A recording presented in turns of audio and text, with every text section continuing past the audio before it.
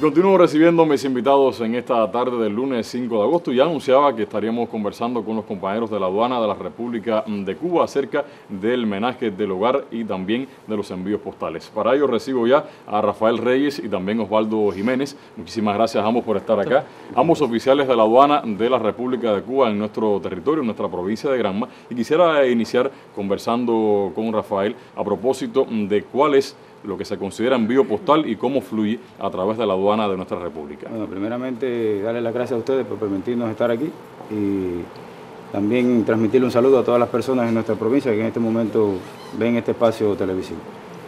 Antes que nada decirle que nuestra provincia eh, posee una aduana que se encuentra en la ciudad de Manzanillo y como objetivo general de la aduana general de la República está brindarle toda la información posible a las personas que en estos momentos pues realizan algún tipo de despacho por nuestros aeropuertos, eh, puntos postales, Canal Rojo eh, de postal y otras vías a través de las cuales eh, accede mercancía a nuestro país.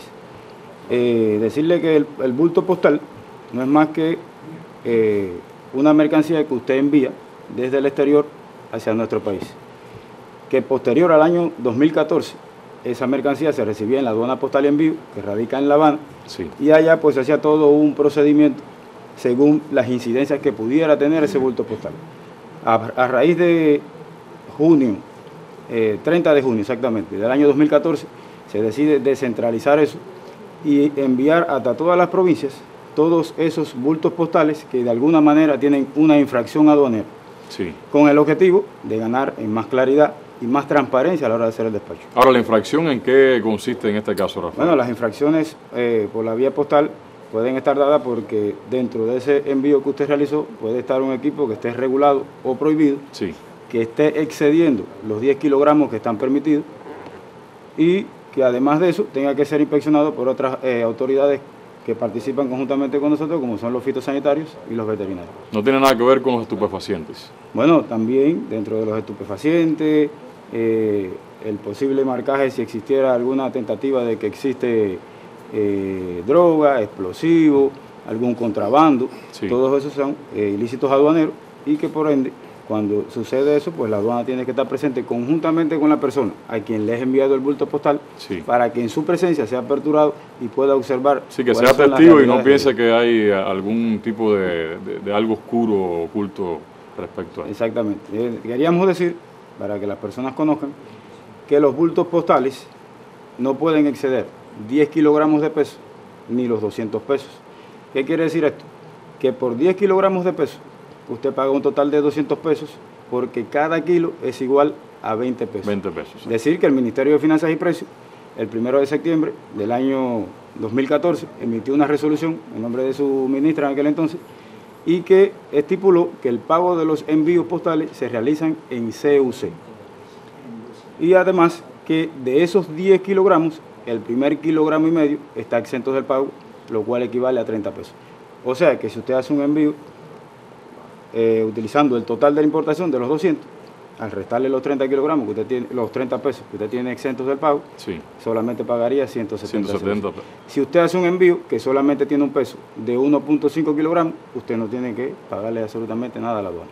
Cuando esos envíos son así, que no tienen absolutamente ninguna infracción en la que la aduana tenga que actuar, sencillamente se van hacia el Canal Verde y son despachados por las personas que atienden correos de Cuba. Ya, y se le llegaría entonces a la vivienda, a aquel destinatario. Exactamente, se le hace llegar una información, una notificación de que usted tiene su bulto. Para que lo vaya a recoger a la oficina de correo. En caso de que el bulto sea marcado o sea señalizado porque tiene alguna infracción aduanera, entonces ese bulto va hasta Manzanillo.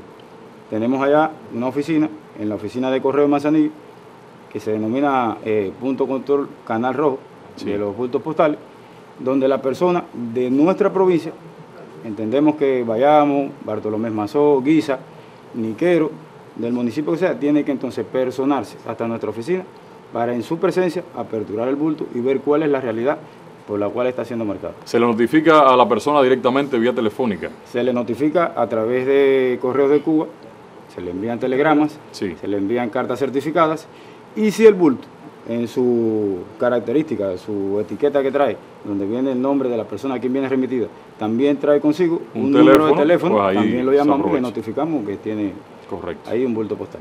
Muchísimas gracias, Rafael. Espero que hayan quedado claros nuestros televidentes respecto a esta información de los envíos postales a través de la aduana de la República de Cuba. Converso entonces con Osvaldo al respecto del menaje de casa, homenaje del hogar. ¿En qué consiste este menaje, Osvaldo? Buenas tardes reiteradas a usted, al colectivo, y bueno, a todos los, los televidentes que están a la escucha y nos están viendo en este momento.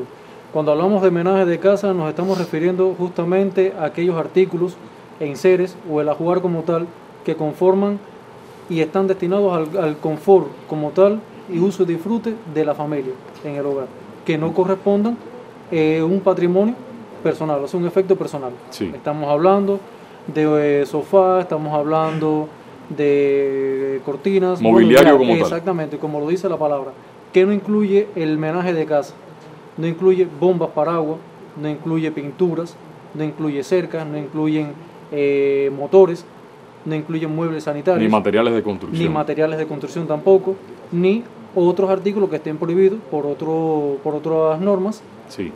que necesiten un permiso previo, tampoco, si no cumplen con estos permisos o esta, eh, estas autorizaciones, pues por esta vía no se pueden importar. Ahora, ¿cómo fluye el envío de estos menajes del hogar? Si una de las características fundamentales que tiene que tener la persona que vaya a realizar un menaje de casa es que del, tiene que, que partir, o sea, el, el lugar de origen tiene que ser el mismo país de De donde, donde está reside, la persona. exactamente, donde está la persona. No puede ser que usted radi- radique un ejemplo en Canadá y que mande el envío eh, desde Panamá, desde sí, de Panamá. un tercer país. Exactamente, tiene que ser del país de residencia donde usted está. Ya. Y entonces el- los límites, por ejemplo, de peso, porque hablamos ahora con Rafael de- del tema de, de los 10 kilos, ¿cómo funciona con el menaje entonces? Sí, en el caso del menaje de casa es diferente, porque ya eh, teniendo idea de que los muebles de una Pesan, casa, más, pesan mucho más. exactamente, Colchones, muebles. ya es un poco más abierto en cuanto al peso. Lo que sí decir que este servicio es exento del pago, solamente tendría que pagar eh, los servicios de aduana como tal. Ya, que consistirían en qué, a ver, de grosso modo, en qué consisten estos servicios de aduana en los que incurriría, por ejemplo, el envío de un menaje de casa. Ahí serían hasta el momento son 10 CUC que lo que están establecidos, o sea, hasta las normas vigentes. Ya, sería entonces el menaje de casa, para quedar todos claros, sería sin costo, solamente se le pagaría a la aduana los 10 CUC. No siendo así en el caso de los envíos postales que Sí, ya son tienen servicios diferentes. que son un servicio diferente y que se, se mediría por peso entonces, por el kilogramo. Bueno, pues entonces, si esa es la información, agradecido a ambos por llegar hasta acá, hasta nuestra revista y aclarar a la población lo referente a los envíos postales y el menaje de casa, con lo referente también a la aduana de la República de Cuba. Y llega el momento de los cumpleaños y nos llega por acá una felicitación en el reparto del polígono. Por acá felicitar al niño Alfredo, José Alfredo Beatón Toledo, que ayer estuvo de cumpleaños, cumplió tres años ayer en el reparto del polígono, José Alfredo Beatón Toledo, de parte de toda la familia y en especial de su mamá Liliana Toledo, una fiel televidente también compañera de Radio Bayamo. Entonces usted, si está de cumpleaños hoy, que la pase muy bien y tenemos como de costumbre en frecuencia 12 un regalo musical. Disfrútelo.